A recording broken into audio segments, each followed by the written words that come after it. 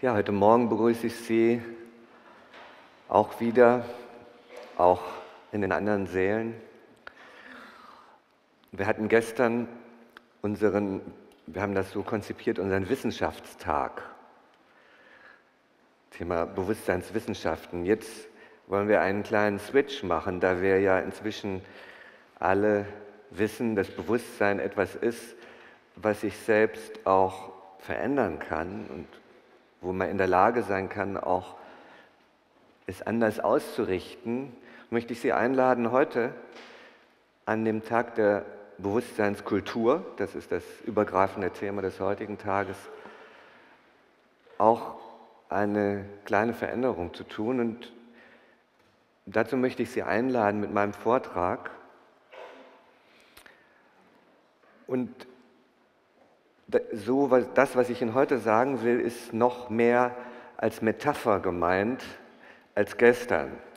Also was ich, wenn ich etwas erzähle, dann möchte ich nicht sagen, dass die Dinge so sind, wie sie sind, wie, oder wie ich sie beschreibe, sondern dass das eine Möglichkeit ist, etwas zu erspüren, also ein Gefühl dafür, einen Eindruck dafür zu bekommen, äh, wohin unser Bewusstsein gehen könnte.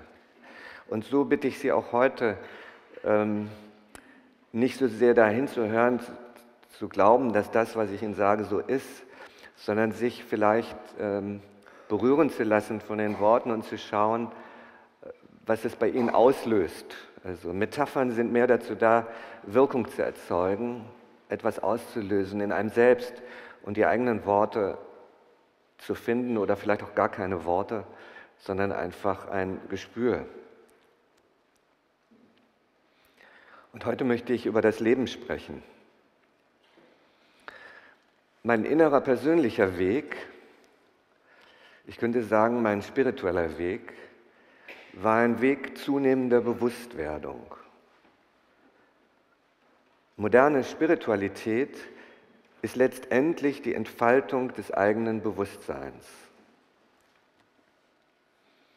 Meine persönliche Suche danach, wer ich in meinem Innersten selbst bin, brachte mich zur Psychologie, zur Psychotherapie, zur Erforschung spiritueller Kulturen und veränderter Bewusstseinszustände und zur Entfaltung meines eigenen Bewusstseins hin zur Seele und Geist und dem, was all dies transzendiert, wie ich es in den anderen Vorträgen beschrieben habe. Das vertiefte und erweiterte Bewusstsein erkennt sich als Ausdruck einer umfassenderen Intelligenz, die es hervorbringt und sich entwickeln lässt. Der Fokus meiner persönlichen Suche bezog sich auf die Arbeit an der Ausdehnung meines Bewusstseins. Und die Anwendung dieser Bewusstseinsformen und Bewusstseinszustände, zum Beispiel in Psychotherapie, in meiner Unternehmensführung oder meiner Lebensführung, erschienen mir wie Früchte auf diesem Weg. Das war eine kurze Zusammenfassung der letzten beiden Vorträge.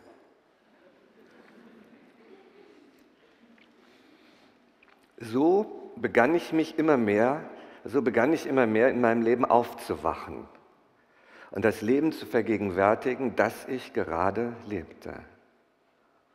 Ich begann, mich an den Platz in meinem Leben zu stellen, an dem ich eben gerade stand oder jetzt gerade stehe.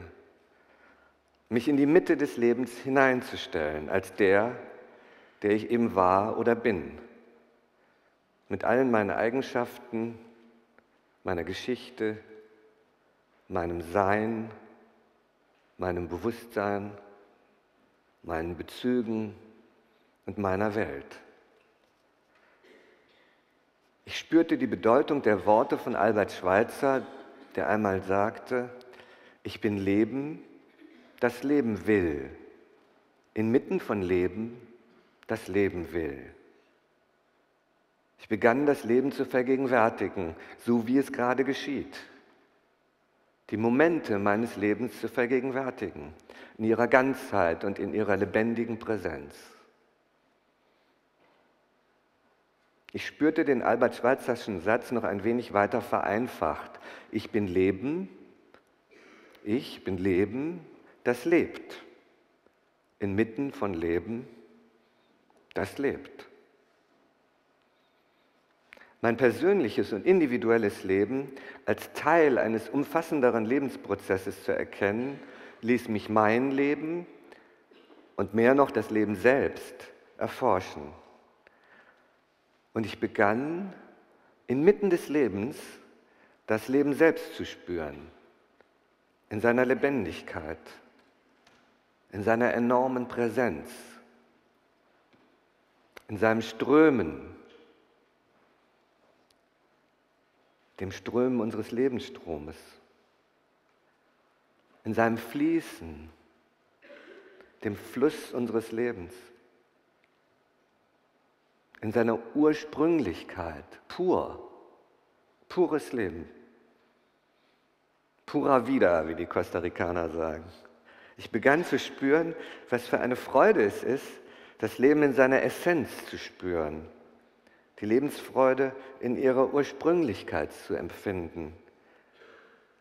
Ja, was für ein Glück es ist, zu leben, gerade jetzt zu leben diesen Quell dieses, diesen Quell dieses Stroms des Lebens zu spüren und ein Teil davon zu sein. Und ich begann den Wert dieses Lebens zu spüren, wie großartig es eigentlich ist, wie intelligent und wie es sich entfaltet.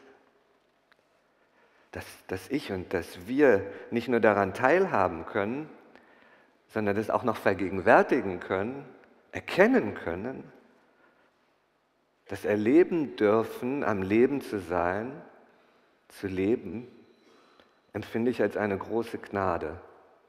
Das größte Geschenk, das jeder von uns erhalten hat und in sich trägt, solange er lebt. Und ich bin sehr, sehr dankbar dafür.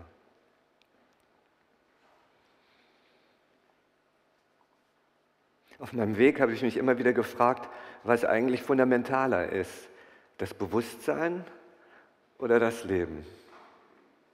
Was denken Sie? Ist die zentrale evolutionäre Bewegung die des Bewusstseins, das sich selbst vergegenwärtigt als Ausdruck einer umfassenderen Intelligenz, die sich als dieses Universum manifestiert, als diese Evolution? und die irgendwann einmal Leben hervorbringt und Nervensysteme, die erwachen und sich selbst erkennen als Teil dieser umfassenderen Intelligenz? Oder ist der evolutionäre Prozess in sich selbst ein lebendiger Ausdruck dieser, dieser umfassenderen Intelligenz, also eine lebendige Evolution, die sich im Zuge ihrer eigenen Bewusstwerdung und Vergegenwärtigung spürt? und in voller Bewusstheit weiterentwickelt. Mit zunehmendem Alter neige ich zu der zweiten Variante. Das Leben zu begreifen als ein sich selbst aufklärender Prozess, als ein Geschehen, das sich seiner selbst bewusst wird und sich selbst zunehmend erkennt und vergegenwärtigt in seiner Art und Weise, in seinen Grundstrukturen, seinen innersten und äußersten Bewegungen, seinem evolutionären Potenzial auch, seiner eigenen Intelligenz, der Intelligenz des Lebens, wenn man so will.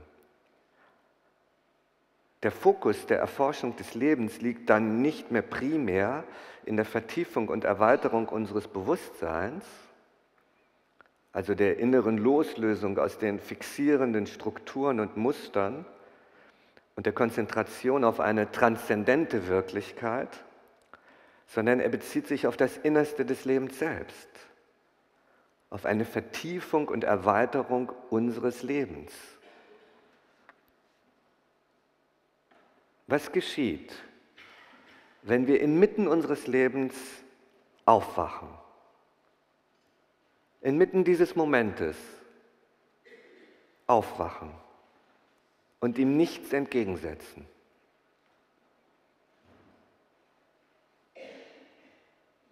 dann spüren wir unsere lebendige Präsenz, unsere lebendige Anwesenheit.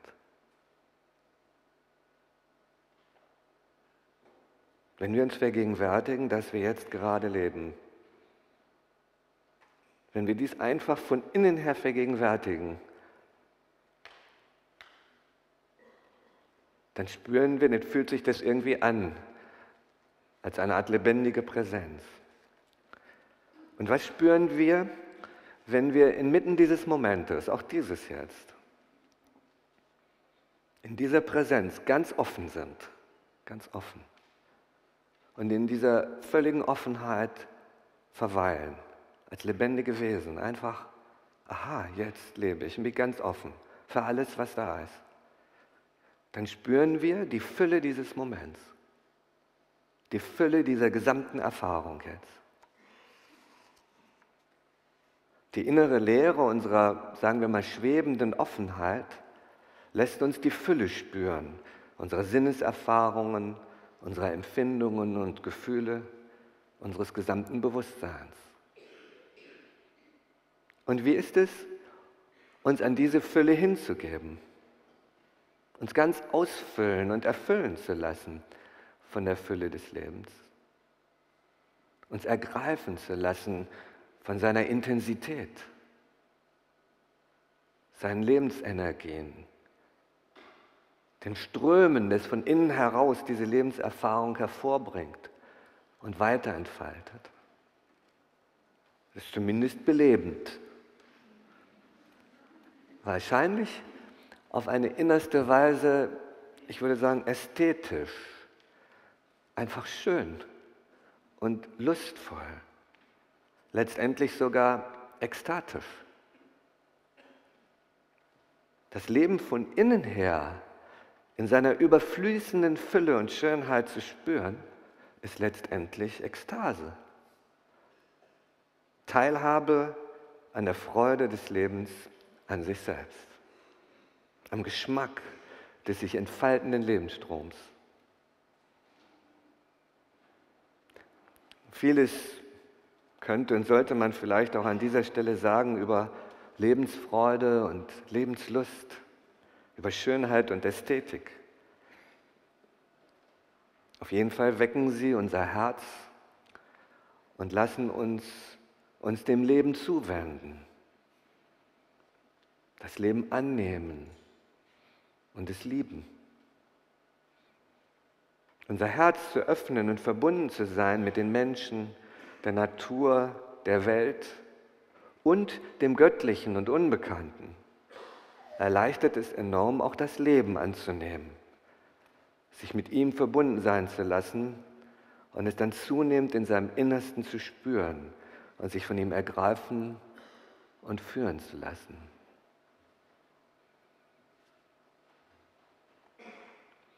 Mit dem Leben verbunden zu sein bedeutet es ganz anzunehmen. Nicht nur in seiner Schönheit, sondern auch in seinem Schrecken, wie Rilke sagt. Nicht nur in seiner Leichtigkeit, sondern auch in seinem Ernste, wie Rilke ebenfalls sagt. Nicht nur in seiner Lebensfreude, sondern auch in seinem Schmerz und seinem Leid. Nicht nur in seiner Tiefe, sondern auch in seiner Oberfläche. Nicht nur in seiner individuellen Entfaltung, sondern auch in der kollektiven Verbundenheit. Den Weg des Lebens, so nenne ich das einmal, den Weg des Lebens zu gehen, bedeutet auch, das eigene persönliche Leben anzunehmen, mich anzunehmen als Ausdruck meines Lebens. Und das ist vielleicht das Schwierigste, mich und mein Leben vollkommen zu akzeptieren und es anzunehmen, so wie es ist und so wie ich bin, ohne Ablehnung, ohne Widerstand. Es bedeutet nicht, alles gut zu heißen oder schön zu finden, sondern eher es hinzunehmen, zunächst einmal sein zu lassen, zu spüren, wie es ist in allen seinen Licht- und Schattenseiten.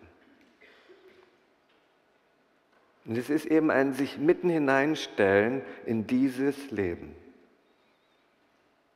Ein Aufwachen in diesem Fluss meines Lebens. Und ein Vergegenwärtigen, wie es sich anfühlt und wie es ist, in dieser Zeit, auf diesem Planeten, in dieser Familie, in dieser Kultur geboren zu sein und als Mensch in dieser Form zu leben. All dies ist Ausdruck des Lebens und gehört zu meinem persönlichen und individuellen Leben. Und wenn ich es spüre und erkenne und zu mir nehme, dann finde ich mich selbst da drin und entdecke, dass ich mich darin bewegen kann. Und ich spüre, welches ungeheure Potenzial in diesem Leben als Mensch liegt, welche Möglichkeiten ich besitze, welche Kompetenzen, mein Leben zu gestalten und die Welt zu verändern.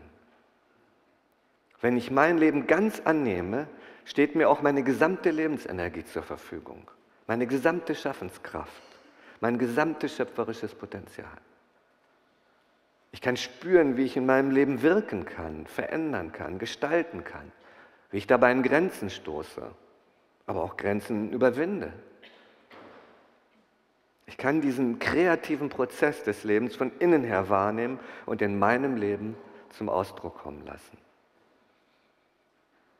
Und wenn ich mein Leben lieben lerne und mich mit ihm verbunden fühle, dann spüre ich diese immense und unmittelbare Verantwortlichkeit, die ich mir und meinem Leben gegenüber besitze, mein Leben auf eine lebenswerte Weise zu gestalten.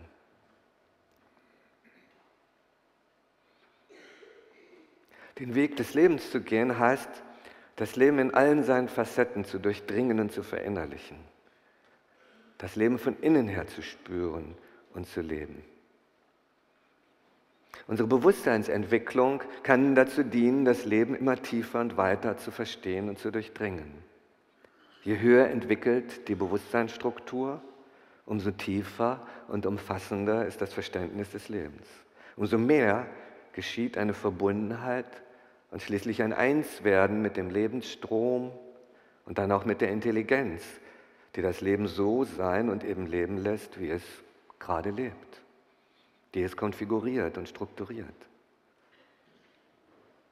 Und je mehr dieses Verinnerlichen geschieht, dieses vergegenwärtigte Leben zu leben, umso größer und tiefer ist die Freiheit und umso umfassender ist das Potenzial, es zu entfalten. Es braucht den Weg des Bewusstseins, nennen wir ihn mal so, um Seele, Geist und kosmische Intelligenz zu erspüren. Und es braucht eine Öffnung für das Leben, das eh da ist, pulsiert, strömt und geschieht. Und all das braucht es, um ein beseeltes und intelligentes Leben zu führen. Leben will leben, wie Albert Schweitzer sagt. Leben will erlebt werden. Leben will sich entfalten und erfüllen. Leben will so voll wie möglich leben. Aber wenn wir das Wollen aus all dem rauslassen, dann tut es das einfach. Und wir gestalten unser Leben mit zunehmender Vergegenwärtigung unseres Lebens, mit zunehmendem Spüren unseres Lebens, im Einklang mit dem Leben. Den Weg des Lebens zu gehen bedeutet, nicht nur das eigene persönliche Leben anzunehmen, sondern auch zu spüren, wie es ist, Teil einer lebendigen Gemeinschaft von Lebewesen zu sein, die eben gerade leben. In dieser offenen Präsenz zu schweben bedeutet zu spüren, wie es ist, inmitten von Leben zu sein, wie es eben Albert Schweitzer tat das Leben der Lebewesen um mich herum zu spüren und zu realisieren, wie sich das Leben in allen Lebewesen ereignet, lässt mich teilhaben an der Fülle der lebendigen Entfaltungen dieser Evolution. Sie eröffnet mir einen ungeheuren Reichtum an Erfahrungen und eine unermessliche Vielfalt und Tiefe von Begegnungsmöglichkeiten. Sie weckt aber auch mein Mitgefühl für all das Schmerzliche, Leidvolle, Verirrte und Verwirrte. Und sie lässt mich meine Mitverantwortlichkeit spüren für diese Gemeinschaft, zu der ich gehöre, allein deshalb, weil ich gerade in und mit ihr lebe. Sie lässt mich meine Teilhabe an allem leben und letztlich an der gesamten Evolution spüren, denn sie ist ja auch Ausdruck des Lebens. Sie lässt mich diese kollektive Qualität, diese Gemeinschaftlichkeit, diese Zusammengehörigkeit von uns allen unmittelbar spüren. Nicht nur ich lebe, sondern wir leben und ich gehöre dazu. Wir leben. Wir leben als Familie, wir leben als Arbeitsgemeinschaft, wir leben als Gesellschaft, wir leben als Menschheit, wir leben als Gemeinschaft aller Lebewesen, wir leben als Natur, wir leben als Kosmos. Wir sind diese kosmische und universelle Intelligenz, die eben so lebt und sich entfaltet. Es ist letztlich kein Verlust, sein Leben hinzugeben an diesen kollektiven Lebensprozess, sein Leben in den Dienst der Gemeinschaft zu stellen, zu der man gehört. Klar ist, ähm, dass das Leben uns frei gibt, unser Leben individuell zu entfalten. Klar ist, dass jeder frei ist, freigegeben, seinen Weg zu gehen. Aber es bereichert es enorm, unser Leben gemeinsam zu entfalten. Wenn wir danach fragen, was uns am Menschen am meisten erfüllt, sind es Partnerschaft und Familie und eine sinnvolle Arbeit, die ja immer etwas für andere Menschen tut. Sowohl aus der Sicht der Bewusstseinsentwicklung als auch aus der Sicht der gemeinsamen Lebensgestaltung ist die Mitverantwortung und die Mitwirkung an unserer Kultur, also unserem gemeinsamen Bewusstseinsfeld, und unserem gemeinsamen Lebensfeld eigentlich eine selbstverständliche und natürliche Haltung. Bewusstseinserforschung als Fokus, als Entwicklungsweg führt aber etwas eher zur individuellen Entfaltung, zur individuellen inneren Befreiung und zur individuellen Verwirklichung und Anwendung der gewonnenen Einsichten. Lebenserforschung als Entwicklungsweg führt eher zur Lebensbejahung und zur Ehrfurcht vor dem Leben, wie Albert Schweitzer sagt. Und das meint sowohl mein persönliches Leben als auch alles Leben. Die, eigene, die eigentliche Lebenskunst besteht nicht nur darin, mein eigenes Leben kreativ und erfüllt zu leben, sondern es im Einklang mit allem Leben zu gestalten. Um es einmal poetisch auszudrücken, meine Melodie in der Symphonie des Lebens zu spielen. Mein Leben und unser Leben gehören untrennbar zusammen. Jeder von uns erleidet sein eigenes Leben und er erleidet unser gemeinsames Leben. Jeder von uns genießt sein eigenes Leben und er genießt unser gemeinsames Leben. Und wir können gemeinsam großartige Lebenskunstwerke schaffen, großartige Symphonien miteinander improvisieren, wenn wir nicht so viel Lärm machen und mehr auf die Töne und Klänge der anderen lauschen. Mir persönlich wird es mit zunehmendem Alter immer wichtiger, diese ästhetische Dimension unserem gemeinsamen Leben hinzuzufügen, die Welt ein wenig zu verschönern, gemeinsame Lebensräume zu kreieren, die uns inspirieren. Auch ein solcher Kongress ist ja ein Lebensraum, ein R-Lebensraum für einige Tage an denen wir uns gegenseitig inspirieren oder auch nerven und langweilen können. Wir gestalten hier Kultur, also wir gestalten Lebenskultur hier für einige Tage. Und das tue ich nicht allein, sondern das tut eine Gruppe, ein Team von Menschen, in dem jeder diesem gesamten Prozess dienen möchte. Letztendlich tun wir das alle hier gemeinsam, ohne es zu merken. Aber was geschieht, wenn wir mal das vergegenwärtigen, dass wir eben gerade jetzt gemeinsam unser Leben gestalten. Also nicht nur unser Bewusstsein bilden, sondern hier und jetzt leben.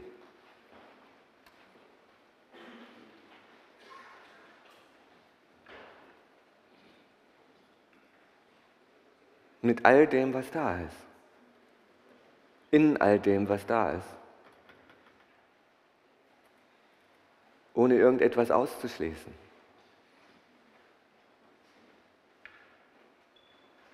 Wie fühlt sich das an? Wie können wir das spüren, dieses gemeinsame Leben?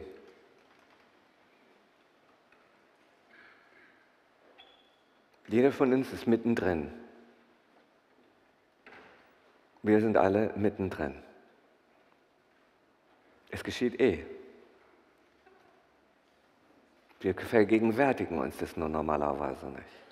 Den Weg des Lebens zu gehen, heißt es immer wieder zu vergegenwärtigen.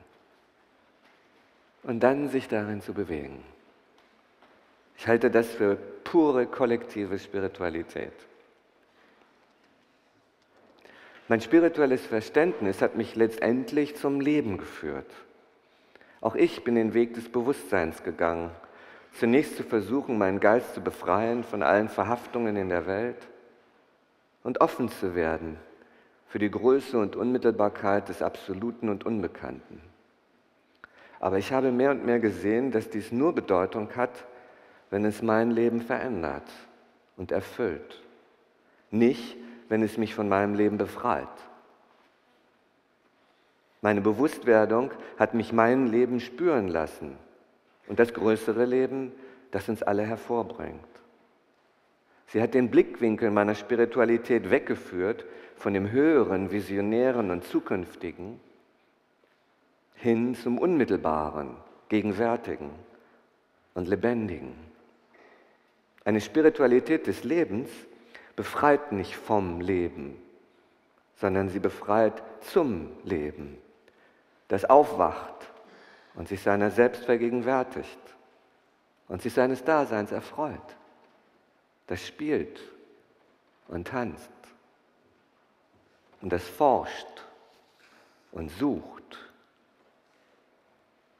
Das Leben sucht Glück und es findet Glück. Es sucht Frieden und es findet Frieden. Es sucht Begegnung und es findet andere. Es sucht Stille und es findet Stille.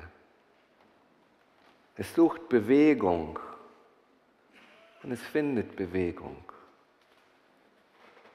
Es sucht Liebe und es findet Liebe. Es sucht Großes und es findet Großes. Es sucht das, was es überschreitet und es findet das, was es überschreitet. Das Leben verliert sich und vergisst sich und schläft ein und wacht wieder auf. Es wird krank und leidet und manchmal heilt es und manchmal nicht. Es wird geboren und wächst und stirbt irgendwann. Es lebt als ich, als wir und als alles, was lebt. Und ich bin dankbar, dass ich all dies erleben und leben darf. Abschließen möchte ich mit diesem schönen Gedicht von Rilke, das auch mein persönliches Verständnis meiner Spiritualität so schön ausdrückt.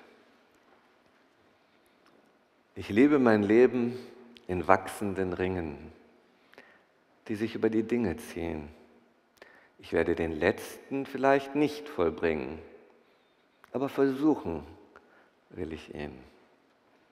Ich kreise um Gott, um den uralten Turm und ich kreise Jahrtausende lang und ich weiß noch nicht, bin ich ein Falke, ein Sturm oder ein großer Gesang?